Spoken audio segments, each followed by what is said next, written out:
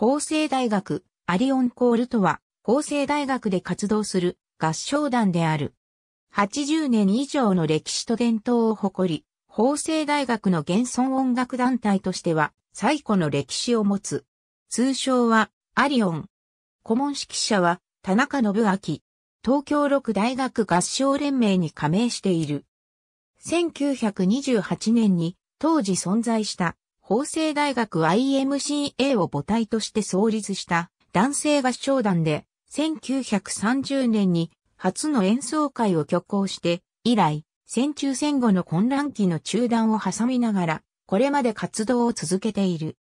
団名は、紀元前7世紀頃に実在したギリシアの詩人で、音楽家のアリオンにちなんで名付けられている。演奏の特色としては、現代音楽を取り上げることが多い点が挙げられ、これまで移植作品、初演作品を含め、定期演奏会ではほぼ毎年現代音楽を演奏している。近年は最盛期よりも所属人数が減少しており、2014年には定期演奏会の中止、2015年には東京六大学合唱連盟定期演奏会での単独ステージを中止するまでに至った。これを受け、2016年からは女性団員の募集を開始。また、同年から常任指揮者に蓮沼義文を迎えた。現在定期的に行われている演奏会は以下の通り。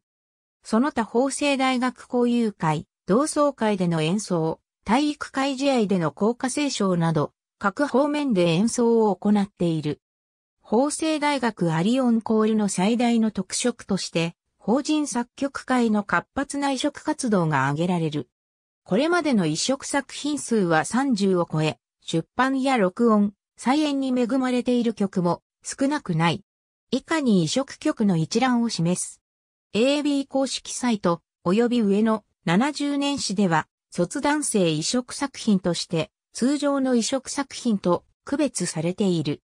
混声合唱からの編曲。ただし編曲にあたって新たに作曲された箇所がある。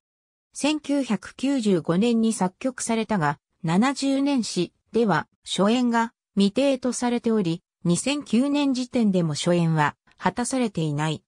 マザーアースからの出版にあたって合唱のための無限旋律生成術とされ、男性合唱団以外でも演奏できるようになっている。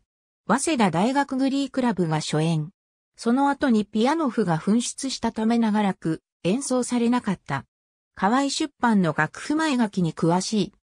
ハーバード大学グリークラブの移植により書かれたが、同団では演奏困難として初演されなかった。文化庁舞台芸術創作奨励賞1990年度受賞作品。ありがとうございます。